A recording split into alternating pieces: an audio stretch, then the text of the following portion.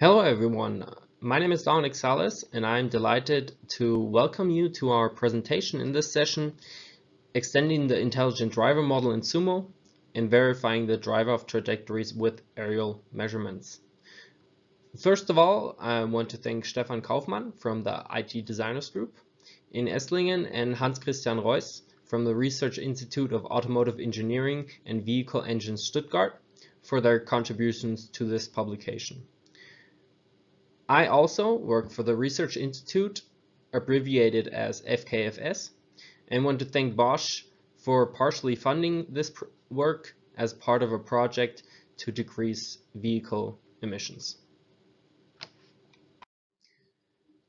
I divided this presentation into five parts. I'd like to begin with a short introduction of the areas where we use Sumo and why we were in the need of extending the intelligent driver model. This leads me to the first major issue of my presentation where I'll focus on the different components of the extended IDM.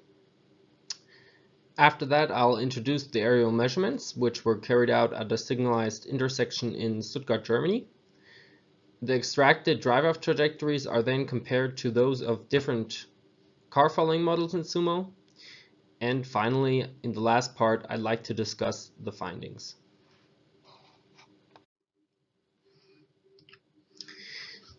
So as just shown, I will start with the introduction and why we developed, or better had the desire to extend an existing car following model in Sumo when established models such as the Krauss model or the IDM already are widely used. When we use traffic simulations at our institute, we are normally interested in single vehicle trajectories or even detailed drivetrain simulations of a few vehicles. We already use the traffic simulation program Virtual Test Drive, short VTD, for real-time simulations. About three years ago, a colleague then was looking for a program for offline simulations and started to use Sumo and its extensive toolset, which of course has its key advantage in being an open source software. We now use those traffic simulations for a, variety of cases, starting off with connected driving functions. There already exist many different ways to implement and use such functions in Sumo, for example with Veins or uh, TraCI. One can, for example, implement a traffic light information system, also better known as GLOSA, to determine the impact of that system. But it still is a difficult task to accurately quantify the benefit in mixed traffic conditions, as human driving has a great influence on the results. So we would like to have a model which produces realistic acceleration patterns at traffic lights. The next part of our toolchain includes environment simulations, especially for sensor simulation and autonomous driving. Aside from using VTD in our driving simulator, we also work with Unreal Engine in our offline simulations and smaller simulators. Sumo is therefore utilized to realistically affect and move surrounding traffic. To create future traffic scenarios, we need models which can imitate human and automated driving behavior. We currently have three different driving simulators where we couple the traffic simulations with the environment simulations and bring a human driver into the loop. For example, to study how a human reacts to different situations or different scenarios.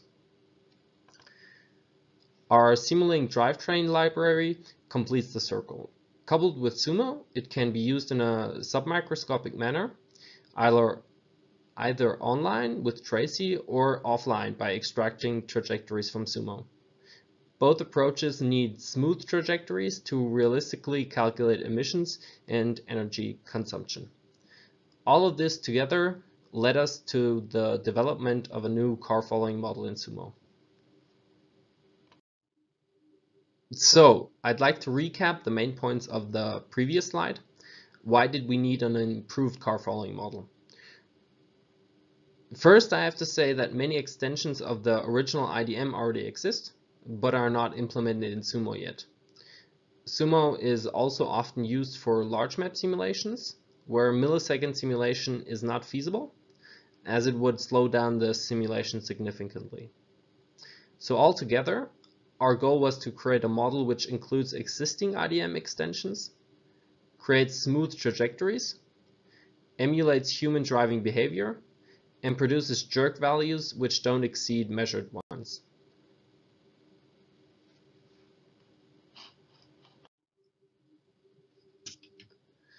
This leads me to the main part of my presentation, extending the intelligent driver model in Sumo. The acceleration calculation for a Sumo vehicle can somewhat be divided into three parts. The first one is the car following model. This model describes how a following vehicle reacts to the leading vehicle. This only works for, on a single lane, so when we have a street with multiple lanes, we also need a lane changing model. The model differentiates between different motivations of lane changing. When triggered, each motivation can induce acceleration commands, which produce high jerk values when simulating with small time steps. The junction model is responsible for letting vehicles with a priority pass and stopping vehicles which have to brake for a red light or for example another vehicle on a priority lane. The reason I'm explaining this is that the acceleration calculation is not only influenced by the car following model part, but also by the other two models. I'll start off the model presentation with a brief explanation of the original intelligent driver model, without going into any detail. The model uses a set of five parameters and three input values to calculate the acceleration of the next step and was originally developed as a time continuous model. The input values shown in the middle of the slide are the speed of the leader n, the vehicle's own speed, and the gap between the leader and the follower n minus 1. The acceleration is calculated by the shown equation on the left. The speed term describes how the vehicle accelerates in free traffic conditions, and the gap term how the vehicle reacts to leading vehicles. The diagram on the right shows the velocity over time of vehicles driving behind each other using the IDM. Even when choosing a different desired speed for each vehicle, the vehicles in the back accelerate slower and slower, which you can see here. This is one drawback of the model. The second term of the equation even influences the speed of the vehicle when the leader is far away, so that the vehicle never reaches its desired speed. This brings me to the improved intelligent driver model. The improved intelligent driver model from Treiber and Kesting differentiates between two cases. When the actual gap is lower than the desired gap and when it is higher. I call the two terms A free and A influenced. When driving at distances lower than the desired gap, that means the driver is somewhat too close to the leader, A free is ignored. That is here the right side. When the gap now becomes higher than the desired gap, the second term A influence is reduced and added to the free acceleration part. That's the left side here. By reducing A influence, the follower begins to drive independently from the leader. The graph to the right now shows the new speed curves of the vehicles when driving closely behind each other. And one can now see that they all reach um, the desired speed. The perfect velocity brings me to the next model, also known as the human driver model. Human drivers don't follow other vehicles so perfectly as shown so far. Therefore, the model uses estimated values as a human would do to describe the perfectly observed values such as the gap, speed, speed of the leader, and own acceleration. To keep it short and simple, an error is added to each perfectly observed value. So on the left you have the observed values from Sumo, then you add an arrow and get the estimated values, which together with the reaction times reflect human capabilities. Again, using diagrams to show the difference, on the left side you see the velocity over time of vehicles driving again behind each other. When we now add arrows to the observed values, the curves change. With an accurate parameter selection, the individual trajectories of the human driver model are much more akin to those observed in real traffic. The next two extensions refer to the speed update caused by the lane changing and junction model. Until this point, the model had three input values, which are the two velocities and the distance to the leading vehicle. The Enhanced Intelligent Driver model adds another input value, the acceleration an of the leading vehicle. I'd like to show the main adjustment with another diagram. This graph shows the acceleration of three vehicles driving behind each other on one lane. When now another vehicle drives onto that lane and becomes the new leading vehicle, the first following vehicle, here the blue line, brakes hard. But now with the new input, when the leading vehicle is actually accelerating, or at least not braking, the following vehicle doesn't brake that hard anymore. The model still stays collision free because the situation then is not critical or is not deemed to be critical. A new parameter determines how cool the driver reacts. The last part of the model presentation includes further extensions we have added, especially regarding junctions, traffic lights, and different driving situations. They were added to the Sumo code as internal variables of the car following model. I'll start off with the correction term to limit the jerk during drive off. The aCorrected function outputs values between 0 and 1 and is multiplied with the maximal acceleration Amax during drive off. This limits the physical capability of the vehicle to instantaneously reach a max which is in accordance with real-world measurements. The next variable is similar to the previous one, but is used when the vehicle is already driving and the situation changes. For example, when the vehicle changes the lane or street, or when the leading vehicle does so. The jerk is limited then to the chosen value.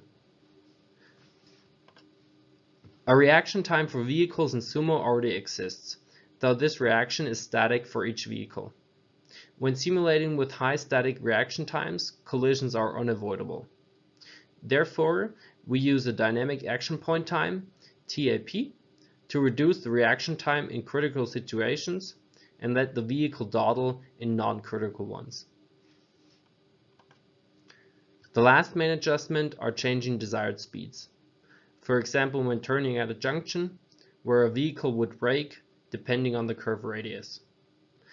A look-ahead time is used to differentiate between late braking and anticipatory drivers. That was it for the model extensions. Now I would like to briefly show you the measurement method to extract trajectories from a drone video. This picture shows one frame of a video that was recorded by a drone hovering over a signalized intersection in Stuttgart, Germany. You can also see the resulting bounding boxes using a neural network and a tracking algorithm. The applied measurement process can be divided into five parts. It begins with an aerial observation. Here, a drone equipped with a video camera. We then extract different georeference positions, here shown as red dots, in the video and track stationary markers to get the camera location of each frame. Parallel to that, a neural network detects all vehicles in each frame. Combining the two methods, we can then convert the vehicle detections, which are in pixel, into geographic coordinates. Another tracking algorithm joins the single frame vehicle detections to form complete vehicle trajectories. To reduce measurement errors, we additionally smooth the vehicle positions and immediately derive the speed and the acceleration. After we extract the trajectories of all vehicles in the video, we created a subset of vehicles which drove over the intersection in the direction of the red arrow you can see here on the right. The graph shows the average acceleration of the first nine vehicles queued at the light signal. Every drive-off starts at time zero. That's the reason the curves are all plotted above each other. Although, of course, for example, the third vehicle started to accelerate later than the first vehicle. One now recognizes that approximately the first 0.8 seconds of the trajectories are missing. That comes from the initial vehicle movement, which can't be detected with the here presented measurement method. 0.8 seconds is approximately the time it takes until the vehicles reach 1 meters per second. The observed drive-off trajectories lead me to the last topic, comparing those to ones from sumo simulations. I added the previously shown acceleration patterns here again. You can see them on the top. To compare them with the ones from Sumo, I ran a few simulations with the Krauss model, the IDM, and the extended IDM and plotted the average acceleration curves. Apart from the delayed initial acceleration in the beginning, you can see here on the left, the Krauss model actually produces similar acceleration curves compared to the observed ones. When studying single trajectories, it looks a bit different. The Krauss vehicles typically accelerate with their constant acceleration parameter which is evident when looking at the blue constant line of the first vehicle. The IDM produces smoother acceleration curves, though it still has a disadvantage. Without a reaction time, the vehicles further back accelerate early, but very slowly, and reach the maximum acceleration very late. This doesn't correspond with the observed data, in which the vehicles reach their maximum acceleration after approximately 2 seconds. When we now add a reaction time, the acceleration would jump at the beginning, just as the blue line shows here. The extended IDM makes use of a reaction time and still produces smooth acceleration curves with the new drive-off function. The only part of the acceleration curves which don't match the observed data is the part between 3 and 7 seconds, where gear shifting has the strongest impact on the acceleration. I'm already at the end of my presentation. Now let me sum up my main points. So we integrated previously published IDM enhancements into the existing IDM model in Sumo. Next, we further extended the model by integrating an internal reaction time, speed restrictions, jerk limitations, and a new drive-off equation. To verify the model, we extracted drive-off trajectories from a drone video and compared the results with those from Sumo simulations. The model will still need to prove that it can realistically reproduce other driving situations and traffic phenomena. Future work will also include a detailed parameter identification for each vehicle in the drone dataset. That brings me to the end of my presentation. Thank you for listening and if anyone has questions, please feel free to ask them now.